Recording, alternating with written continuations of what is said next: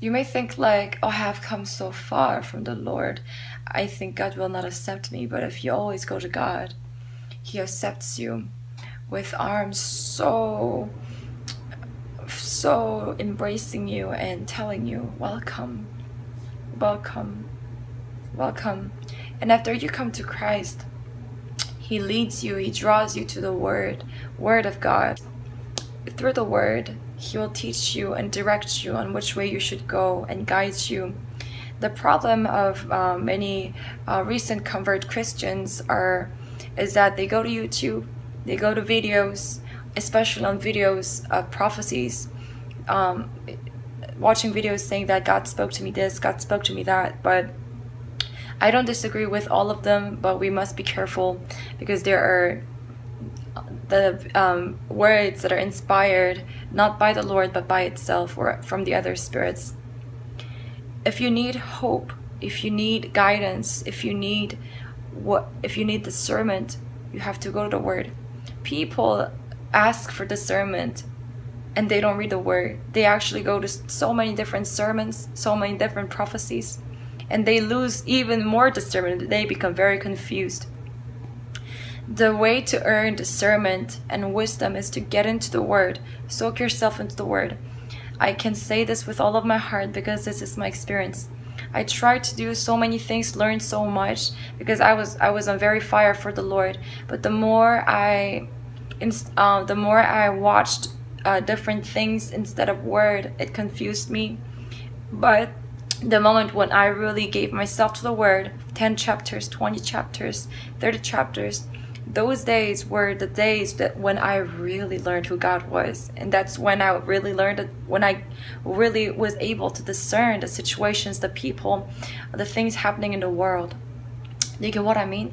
You have to get to the word if you want discernment, not the not the men's word. You have to go to the word by yourself and sit down and read. You have to read continuously, read and read and read because when you start to read, the word um the word is inspired by the holy spirit and the if holy spirit is in you if christ spirit is living in you he will guide you and teach you and he will let you know what needs to be known by you. He will give you wisdom to understand the word. And um and, and if you cannot focus if there's distraction read it out loud sometimes or write down while you're writing or write down the things that came to your heart deeply. And as the word mounts up as time to time to time you'll be very surprised how much you grow you grew and change. The lord said um, eat my flesh. Can you understand that reading his word is eating him? The way to abide him you're looking you're searching and you're looking for the way to love him. You want to know how much you can love him more and more day by day. And it is to know him. It is to know how much he loved you first it is it, it it just his love you know loving god comes from knowing him and knowing how much he loved us. And that comes from knowing the word reading the word. And especially you have to pray together. You have to spend time with him. You have to talk to him. You have to listen to him. You have to spend your time in the secret closet. That is the that is the absolute place where we have the breakthrough without the secret closet without the without our personal time with him there's just nothing that can be done. Uh, without being close to the spirit of god there is nothing that can be done. All the good works are done by god and that's why we have to give him full control and this comes from our personal time with him. And today you turned on youtube because probably you're bored. You want to know more about god. You want to love god. Um, you want to watch christian content all of those things. But the ultimate place where you have to go right now is your secret place with the lord. You have to read the word and you have to pray especially in this time, time of confusion rather than going on to youtube and listening to so many people. The best place that we have to go is to His Word and to pray and asking Him to give us His heart and really asking Him to give us His His cry and His tears so we can intercede for the people outside.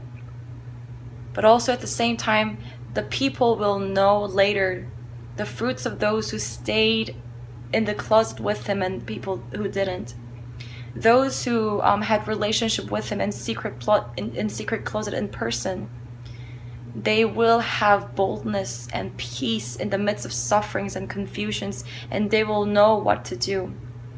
If you need hope right now if you need if you need to to be loved right now if you need solution right now where you have to go is to the word if you want provision from God but you don't know if God will provide you so you're very confused and afraid if you have fear where you have to go is not prophetic videos it's word go to verse go to Matthew and read the verse that says seek my righteousness and all these things will be added to. Hold that verse.